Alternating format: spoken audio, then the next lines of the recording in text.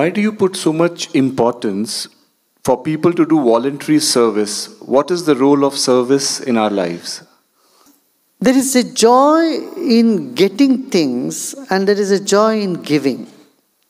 The joy in giving, the joy in contributing is much bigger and greater than the joy in having, you know, grabbing and wanting for oneself. So when, when someone does service in their life, they can experience that another level of joy. They can experience that contentment. They can have that satisfaction, which you normally call job satisfaction. You know, I don't think the job satisfaction really exists. It's the service that brings you satisfaction. Yeah?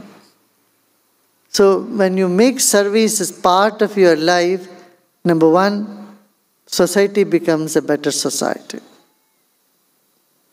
Just imagine if everyone wants to take things from you, where will you go? But if everyone wants to contribute, then that society becomes a ideal society, harmonious society, society with uh, more humane values. Right? So, service is part of our human nature. It is one of the human, basic human values. And if we don't have this, life can never be fulfilling.